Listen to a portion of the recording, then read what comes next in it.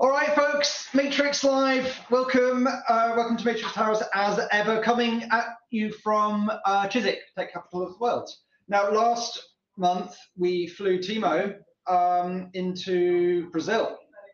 That's uh, no expense spared. Um, we didn't spend any money on that, by the way. Uh, but this time we have managed to get Doug in real life. He's come by canoe, probably, uh, and he's going to uh, talk you through uh, support in Element X and, excitingly, Permalinks. Okay, um, so hopefully you can see my screen. Um, I am going to go over um, permalinks, which we added last month now, so hopefully everyone's had time to um, try this out, but if not, we'll just run through it. Um, and then um, show you what um, CallKit should look like when you receive a call in the background through Element Um, so I'm going to start off with permalinks, which if I find my room. um, so permalinks, we've um, adding the feature has unlocked quite a lot of functionality in various different areas.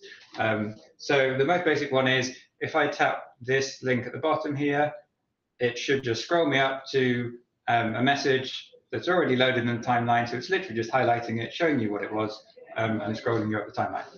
Um, then if I actually have a, a link like the, this one here, um, this is a link to another room. So if I tap on that, we're going to push into the room. Um, should have some content. There we go.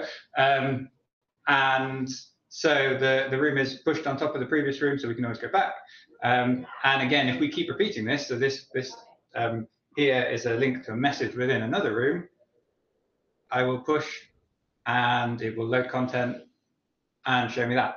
Um, so now we have three level three levels deep of the um, of the navigation, so we can quickly go backwards and forwards.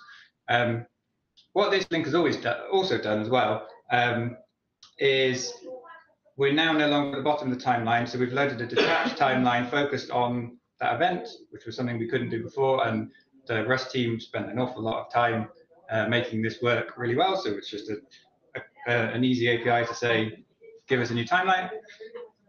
Um, and so yeah, so then we can load anywhere in the anywhere in the history and, and highlight that for you. Um, so that's basic.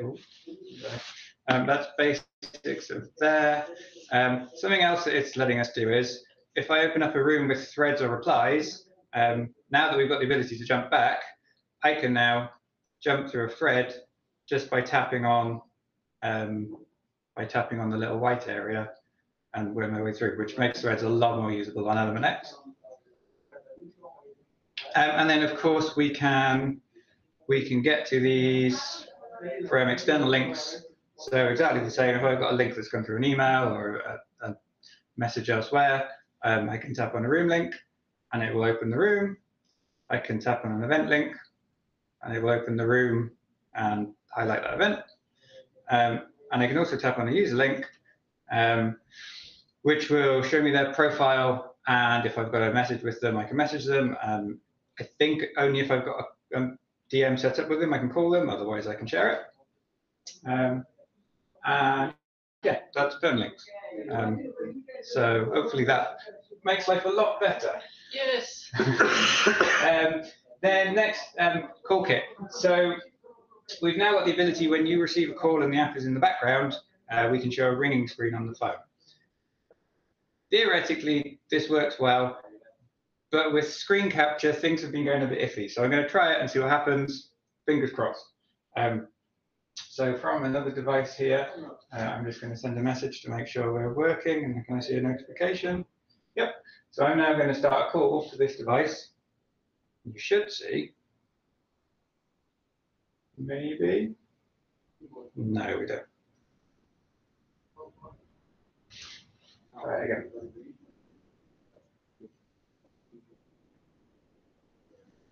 There we go. Um, so um, I've now got the, phone ringing. Uh, I can tap on it to make it big.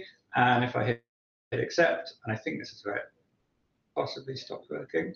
Yeah, so on my phone itself, I can now see I'm in the call. For some reason, the screen capture freezes at that point.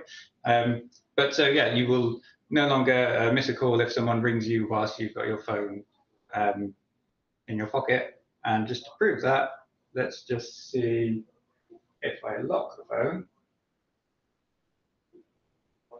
And then do another call. It should, in theory, wake up the phone. That's something else. It's gonna work.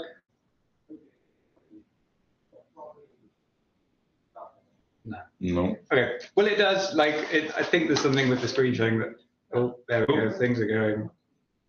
Is that it? Oh. Cool started. Hmm. Let's give it one more try.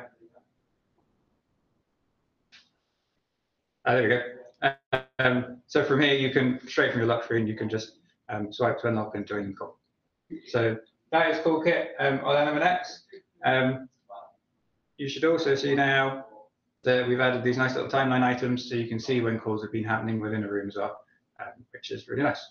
So um, I think this was only merged a few days ago. Um, but we might need to do a little bit more testing on it, but it should be available in the next release candidate. So yeah, that's everything. Very cool. Yay! Can deactivate notifications on the normal elements now because that was the only reason I was clicking them. Ish. So this is still element call notice rather than normal white ones.